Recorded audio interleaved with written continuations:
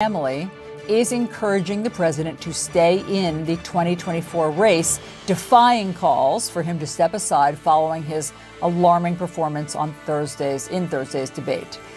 The family is meeting at Camp David tonight. This is part of a planned gathering that was scheduled before the debate, we're, we're, told.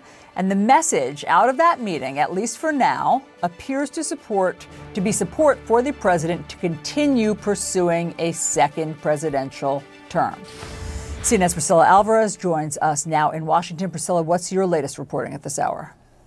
Well, the president is huddling with his family following the immediate fallout of his debate performance on Thursday night, and Biden advisors are telling CNN that his family is encouraging him to stay in the race and supporting him and expressing that support, including Hunter Biden and the president's grandchildren. These advisors also saying that the conversations have been focused on how the family can help the president and not whether he should reconsider his candidacy. Of course, all of this, all of these conversations follow uh, what has transpired since Thursday night's debate, as there have been calls for the president to withdraw from the race, including in uh, editorial boards as well as all corners of the Democratic Party. Now, the president himself has also been collecting data anecdotally and through public polling as he too tries to assess what uh, what folks are feeling across the party, and that has been a deep concern. Panic has certainly set in. Donors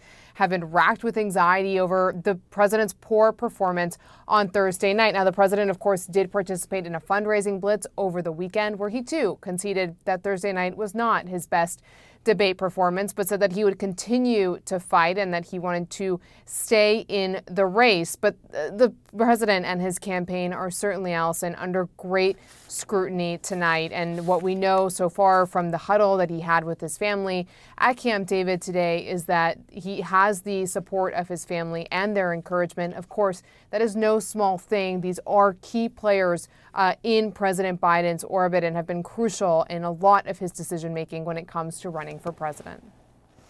Priscilla, thank you very much for all of that reporting. We're joined now by CNN senior data reporter Harry Enten. He uh, was here to run the numbers. So, Harry, do we have new poll numbers for President Biden post debate? We, we do. You know, CBS News YouGov conducted some polling post debate. We can compare it to the pre debate numbers. And the bottom line, Al, it's not any good.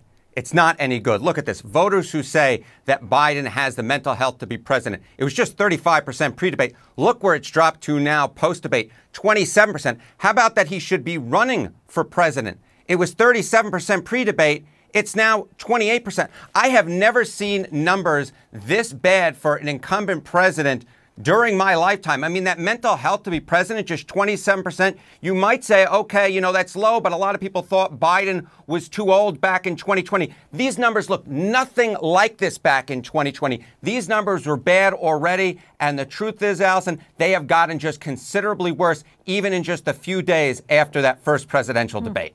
Harry, do we have polling yet that suggests that voters want a different candidate?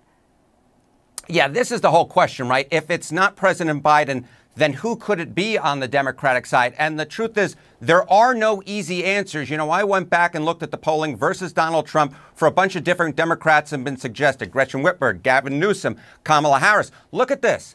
They all trail Donald Trump. So the idea here that we're somehow going to get this magic bullet, that there's somehow going to be some Democrat who can beat Donald Trump easily, I just don't see it in the numbers. At this particular point, if Joe Biden takes on Donald Trump, he's trailing. If there's another Democrat who runs against Donald Trump, they too are trailing. Perhaps you want to make the argument you bring in another Democrat who isn't as well known as Joe Biden, who has universal name recognition, and maybe they could change the numbers. But the fact is, any Democrat who entered the race right now, at least among those that are being suggested by a bunch of folks, they would all enter the race at this particular point as an underdog to former President Donald Trump. But, Harry, are those numbers old numbers or are those since the debate? Average, right? Because the key is I don't just want to rely upon one polling number. But even the limited polling data that we have post debate suggests that none of those candidates on your screen, Gretchen Whitmer, Gavin Newsom, or Kamala Harris, any of those would be favored over Donald Trump. He leads against all of them, whether you look at the pre debate numbers or the post debate numbers. And of course, I like to look at an aggregate of numbers, so that's what I did. But the fact is, even if you just did post debate, it really wouldn't look any different. Hmm. Do you have any precedent for how lopsided Thursday's debate was? Yeah, I mean, if you want to take one solace if you are Joe Biden, the fact is, first debate winner margins. Look, Donald Trump, more people by a 34 point, 34 point margin said that Donald Trump beat Joe Biden in the debate. That's not much different than what Joe Biden's margin over was over Donald Trump four years ago. It's actually larger than the Hillary Clinton margin that she had over Donald Trump. But you may remember that first debate back in 2012 where Barack Obama just did horribly. Mitt Romney won that debate in the voters' minds by 42 points. But of course, he didn't become president. Barack Obama was reelected. So I guess if you want to take a look on the one bright note, is there is a history of someone losing the first debate as an incumbent and going on to win the presidency, and that was 12 years ago. Okay, so you're saying that somebody, I mean, you you have seen examples of somebody, um, you know, coming from behind, basically, in that way after a, after a poor debate. Yeah, uh, that, that, that is true. But here's the thing that I would note which is that Joe Biden was trailing going into the first debate, okay? Barack Obama was leading. So I want to limit it down for you. Incumbents who were trailing going into the first debate and then lost that first debate. Well, how about Jimmy Carter lost that one debate he took on Ronald Reagan in 80? George H.W. Bush lost that first debate to both Ross Perot and Bill Clinton. And in 2020, Donald Trump lost that first debate to Joe Biden. Well, guess what, Allison?